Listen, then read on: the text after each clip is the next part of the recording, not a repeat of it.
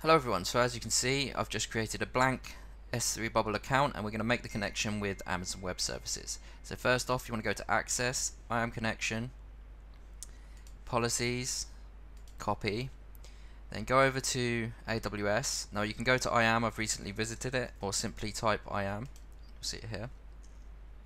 Okay, now what you want to do is you want to create a policy.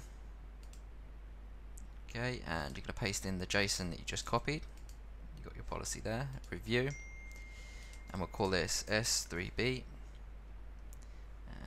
you can add your description, whatever you want. You can see our policies, you can edit these policies however you wish.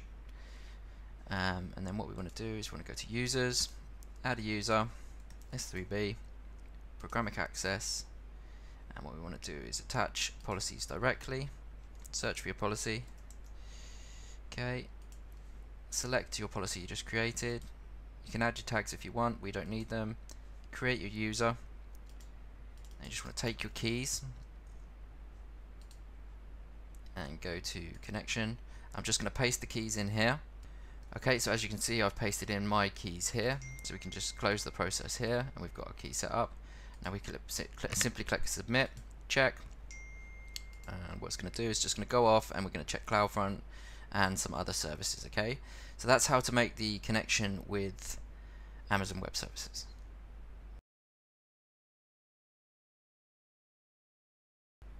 Okay so in this video we're going to set up our workflow. So what we're going to do is we're going to create some buckets. We're going to create a delivery bucket okay? And we're going to call this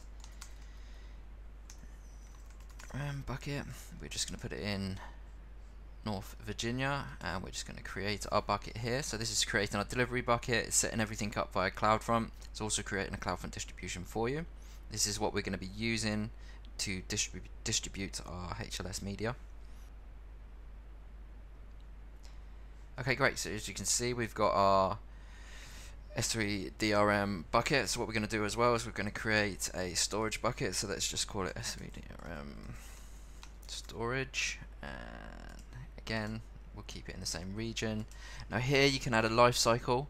So this will be the amount of days the objects will stay in your bucket before they get pushed to Glacier okay? Um, now the reason you, you don't have to do this completely optional but we suggest you do it if you really want to save money. To save just having objects sitting in S3 that you're never really going to use because you've already encoded them and pushed them to the delivery bucket okay? We've got more tutorials on that. I reckon say 14 days is a good option so you, you've got plenty of time to check and update if you need anything. So let's create our storage bucket. Okay and normally just create an assets bucket. Uh, and this is just so you can store your um, watermarks uh, and any kind of uh, resources that you're going to reuse. Okay, great. So there we go. We've set up our workflow now.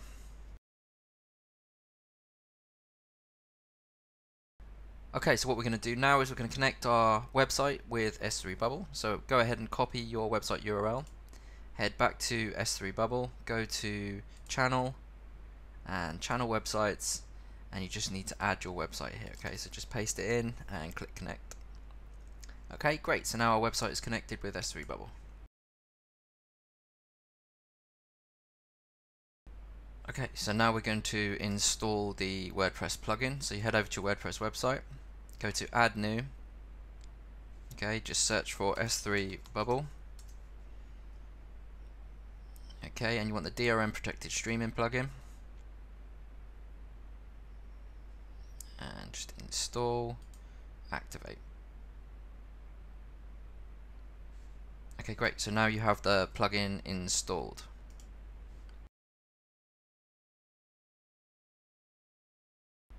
Okay, so in this video what we're going to do is upload our first piece of um, con video content and encode. Okay, so we want to go to our storage bucket.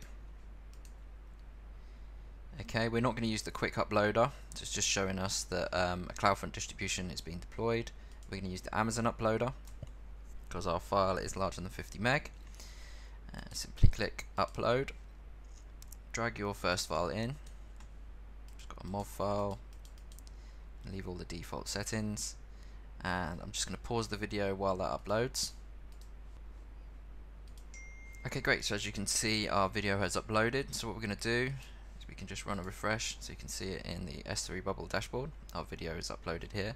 So let's just head back to storage and just go into our assets bucket let's just grab a watermark and just upload a watermark that we can use for our encoding process now you can simply click on the file and it will copy the S3 URL that we can use in the next screen so we want to go back to our storage bucket that we just uploaded the file to and let's create our first encoding job. So let's go to Media Convert. Okay, we're going to use the HLS template. We're going to paste in the URL we just copied for our watermark. We'll set some thumbnails. Now we want our proxy URL, okay, and now we grab this from the plugin that we just installed. So let's go back. Let's go to a new post. And what we'll do is we'll just call this secure And we'll just add a new block. We want DRM video, and you can see we've got our proxy token URL here. So we're going to grab that URL, paste it in, and we want to use our uh, S3BOM delivery bucket. It's already selected our CloudFront distribution. You can see it's in progress, so we'll have to wait for that to complete. We're just going to use a random ID, okay, and we're just going to go ahead and create that job. So now that's going off and it's encoding our file um, with secure DRM encryption. Okay, so we'll just give that some time to complete.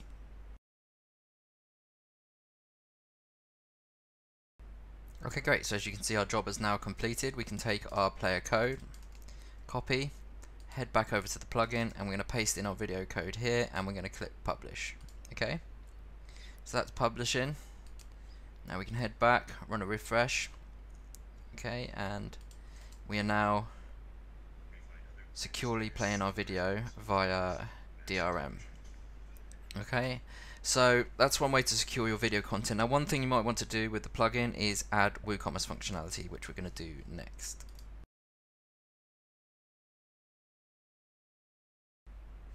Okay, so now we're going to do WooCommerce functionality. Um, this is pretty cool. So say we have this video now, we're securely protecting it but let's say we want people to be able to to make them pay um, before they can actually view this video okay so you're going to want to do that with some kind of paywall but we're going to do it directly through the player okay so head back to your website go to plugins and what you want to do is you want to search search for WooCommerce. Okay and install.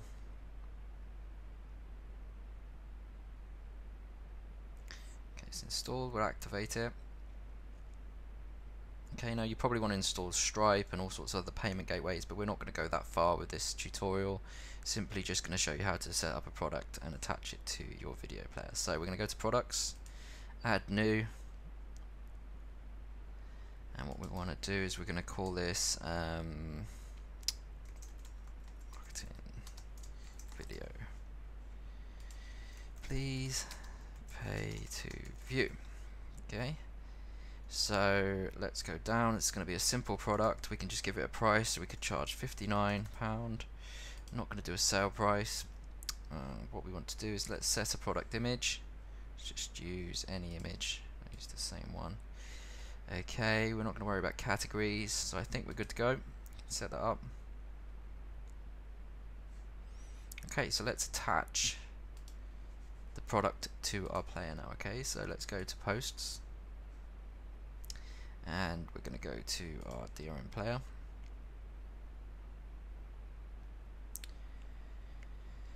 Okay just give it a second to load. And now we're going to go down to our products. So you can see all our products here. It's set up a few default ones but we're going to choose our marketing video. Click update.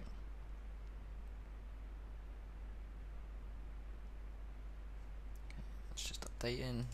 And then if we run a refresh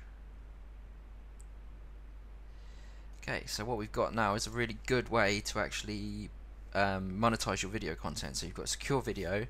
Now what you can do is people go to purchase this video. It's going to take them to the product page and you can completely style it however you want. It just goes into default WooCommerce um, functionality. And so you'll go through the process to purchase um, add to cart. As soon as you've added to cart and you've paid um, then they can come back it will log them as a user and they'll be able to view this video. So that is a great way to monetize your video content right there